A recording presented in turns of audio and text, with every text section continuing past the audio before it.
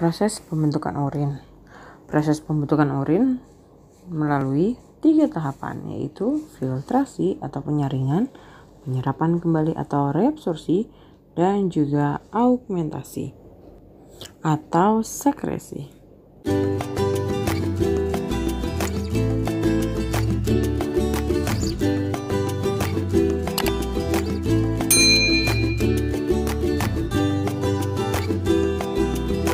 Kita akan bahas satu persatu tahapannya ya.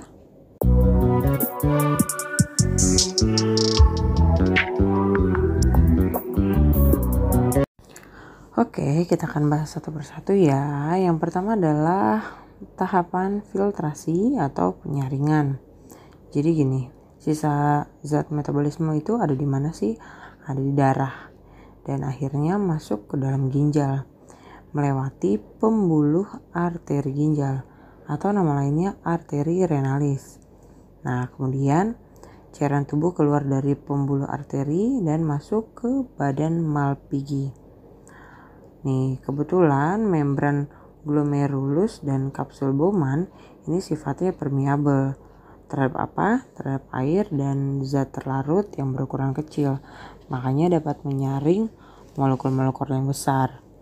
Nah, hasil saringannya ini atau filtratnya ini tuh berasal dari glomerulus dan juga kapsula Bowman yang disebut atau dikenal dengan urin primer atau filtrat glomerulus. Nah, kemudian dalam urin primer ini sebenarnya masih ada kayak air, gula, asam amino, dan juga garam mineral.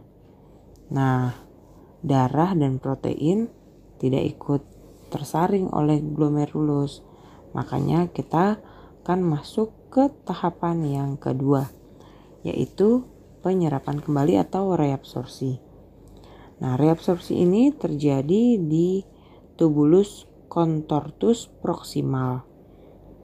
Hampir semua ya, glukosa, vitamin, asam amino, ion, dan air ini diserap kembali Nah, ternyata zat-zat yang masih berguna tadi itu dimasukkan kembali ke dalam pembuluh darah yang terdapat di sekitar tubulus. Nah, hasil dari reabsorpsi ini disebut dengan urin sekunder, yaitu dikenal dengan filtrat tubulus karena tadi hasil dari tubulus ya. Nah, urin sekunder itu mengandung apa aja sih? Mengandung air, garam, urea, dan juga pigmen empedu yang memberi warna dan bau pada urin kita.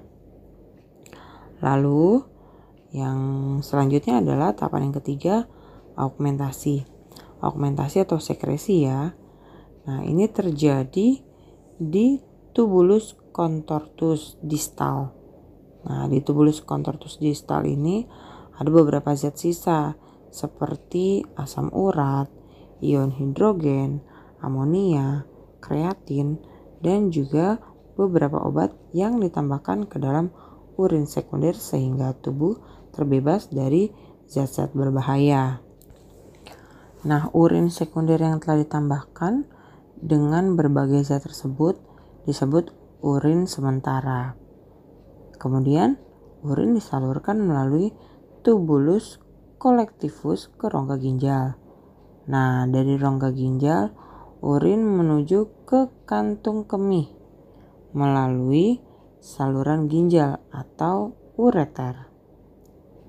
Nah, kemudian bagaimana cara proses pengeluaran urinnya?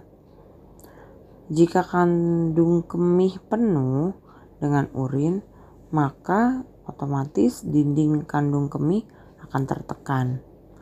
Nah, kemudian dinding otot kandung kemih ini meregang sehingga timbul rasa ingin buang air kecil. Nah, selanjutnya urin keluar melalui saluran kencing atau kita kenal dengan uretra. Pengeluaran air melalui urin ini sebenarnya erat banget kaitannya dengan pengeluaran air melalui keringat pada kulit. Soalnya pada waktu udara dingin, badan kita kan tidak berkeringat, sehingga pengeluaran air dalam tubuh banyak dikeluarkan melalui urin. Inilah yang menyebabkan kita sering buang air kecil.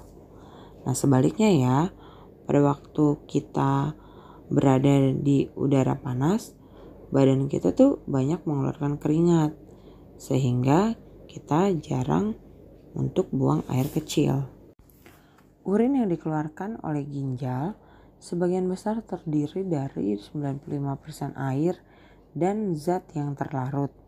Apa aja itu? Yaitu urea, asam urat, dan amonia yang merupakan sisa-sisa perombakan protein. Kemudian bermacam-macam garam, terutama garam dapur atau NaCl, dan zat warna empedu yang menyebabkan warna kuning pada urin, serta zat-zat yang berlebihan di dalam darah seperti vitamin B, C, obat-obatan, dan juga hormon.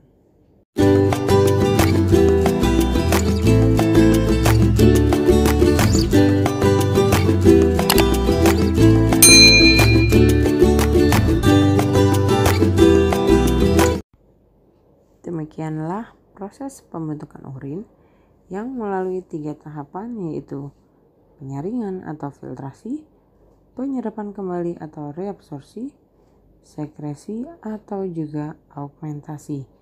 Serta sudah dijelaskan juga ya bagaimana proses pengeluaran urin. Demikianlah yang bisa kami sampaikan. Jangan lupa like, subscribe, dan komen ya. Serta download dan share ke teman-teman kamu sekalian. Semoga bermanfaat.